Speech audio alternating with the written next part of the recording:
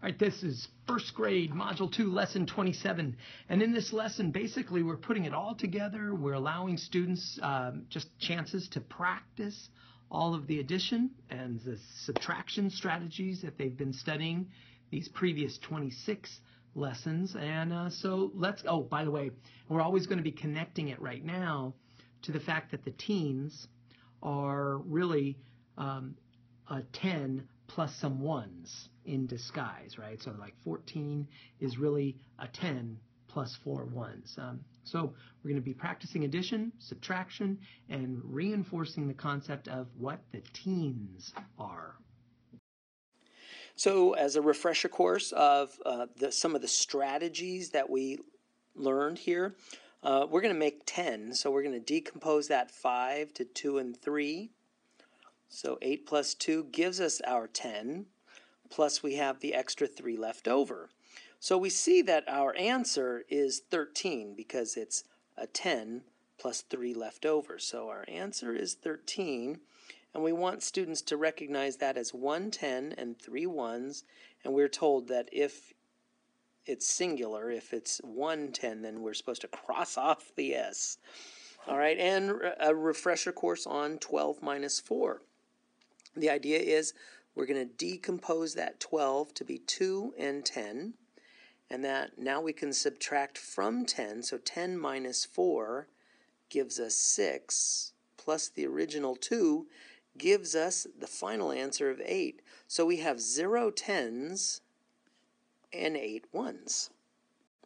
We could keep going on this, but the idea is we want students to be practicing their strategies, in this case for addition, um, and their strategies for subtraction.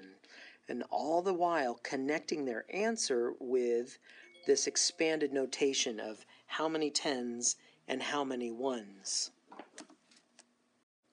So we're going to follow the read, draw, and write protocol to solve this problem. So it says Mike has some red cars and he has eight blue cars. Now, if Mike has nine red cars, how many cars does he have in all? So let's draw this. So let's start by drawing the eight blue cars. So we've got one, two, three, four, five, six, seven, eight. And then for the nine red cars, so we've got one, two, three, four, five, six, seven, 8, 9. So we've drawn our picture, and if we wanted to, we could say, all right, well, that's 8 plus 9. Now, a couple of things we could do. One way, one thing we could do is we could say, well, let's decompose that 9 to be 2 and 7. So 8 plus 2 is 10, plus the extra 7 gives us 17. So that really means we have one 10 and seven ones. So the answer is 17. Now, the interesting thing is when we decompose that 9 to be 2 and 7, basically what we're saying is we could take the 9 over here, break it apart, and take the 2, fill in this 10 frame. So now we have 10 plus we have 7 over here. So that's basically what we're doing is down here is a numerical way of saying take two dots, fill in the 10 frame, now you have 10 plus 7. And lastly, we have Yanni and Han. They had 14 golf balls and they lost some of them. So they had 14, they lost some of them. Now they have 8 golf balls left. How many did they lose? So the idea is well, let's draw our 14 golf balls.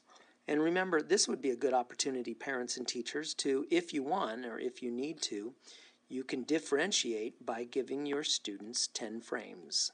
All right, so I'm going to give them, I'll show you a 10 frame. And let's model those 14 golf balls. So we have a 10 and four more. And then it says that they lost some of them and they only have eight golf balls left. So if they only have eight golf balls left, here's our eight golf balls that are left.